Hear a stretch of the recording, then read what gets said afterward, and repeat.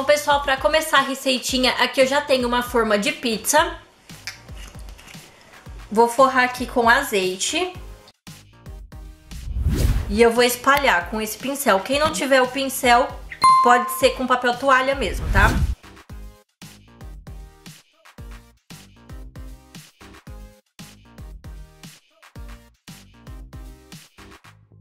Aqui eu já tenho uma massa de pizza.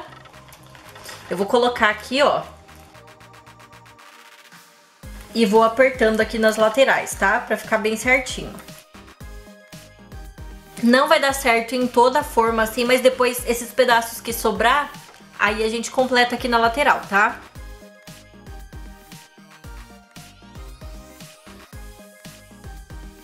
Ó, já tem uma faquinha aqui. É só cortar esses pedacinhos aqui da lateral, tá?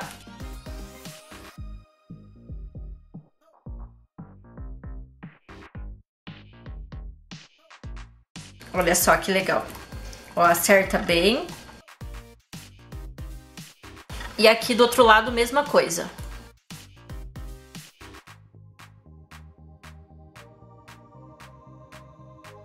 E é só acertar aqui também.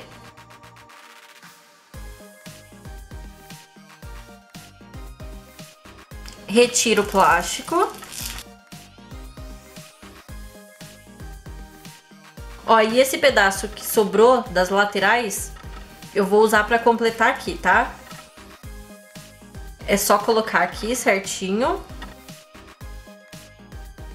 Corta também as partezinhas que sobraram. É bem fácil, né, pessoal? Acho que essa vai ser a pizza mais fácil que vocês vão fazer na vida de vocês. Sem contar que fica maravilhosa, né? O sabor é incrível. Ó, certifique-se que tá bem arrumadinha. E tira o plástico. Desse lado também, mesma coisa.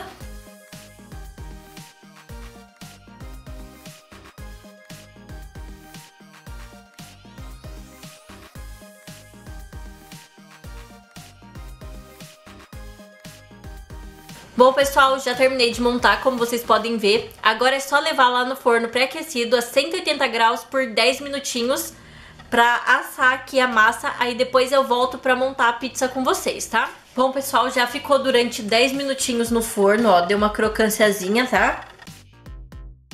Agora é só colocar molho de tomate aqui, molho de tomate pronto, tá? E espalhar bem.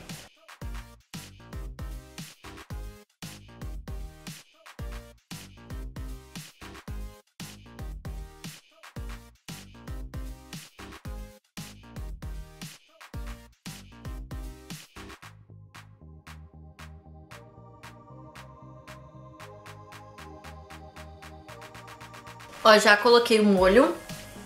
Vou colocar aqui agora umas colheradas de requeijão, tá? Mas é a gosto de vocês. Se não quiser pôr, não precisa.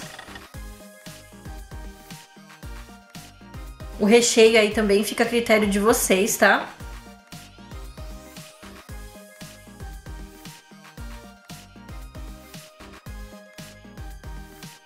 Ó, dei umas espalhada. Eu vou fazer de presunto e queijo, tá?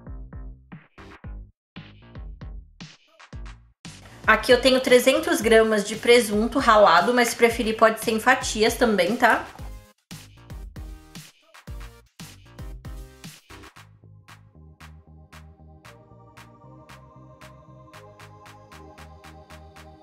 Enquanto eu tô montando aqui, pessoal, meu forno tá ligado lá ainda, tá? Eu não desliguei pra deixar bem aquecidinho pra poder voltar pra lá, tá? Ó, nessa forma média minha, com 300 gramas de presunto, ó, Ficou bem recheado, tá? Ó, deu pra colocar pela forma toda. Aqui eu também tenho 300 gramas de mussarela. A minha tá ralada também, mas como eu falei, pode ser em fatias.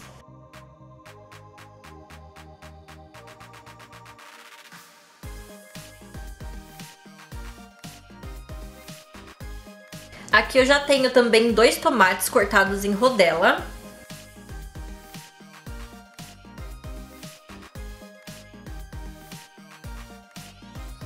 Ó, mas na verdade eu não usei tudo, tá?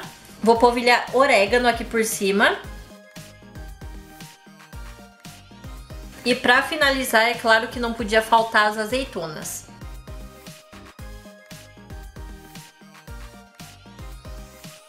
E agora é só voltar lá no forno pré-aquecido a 180 graus por mais 20 minutinhos. Aí eu volto pra mostrar o resultado pra vocês, tá? Bom, pessoal, e a nossa pizza já ficou pronta. Olha só que bonitona que ficou. Agora eu vou estar tá tirando um pedaço pra vocês tá vendo bem pertinho como é que ficou, tá?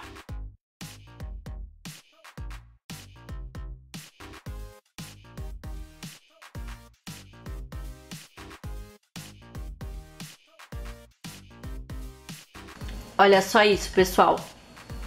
Bem de pertinho aqui pra vocês. Olha só isso, pessoal. Deixa eu tirar um pedaço aqui, ó. Pra vocês tá vendo, ó. Olha como fica macia. Vale muito a pena tá fazendo aí na casa de vocês, tá? Olha isso, bem de pertinho aqui pra vocês.